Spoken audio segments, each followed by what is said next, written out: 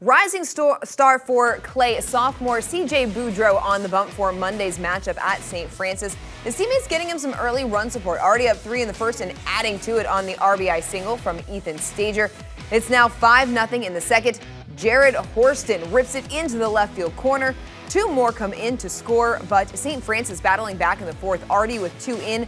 Drew Tucker plates another with a single to right, and on the very next pitch to Andrew Roysick, it's flared into shallow right. Two more come in to score as the Knights cut the deficit down to two.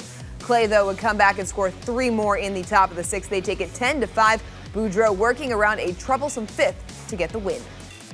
It helps me stay focused. If we're even if we're up or down, I like to try to stay the same. I don't try to do too much. I just knew I had to stay calm. I've been in tough situations like this before. I knew if I stayed calm and trusted my stuff, we'd be able to battle back.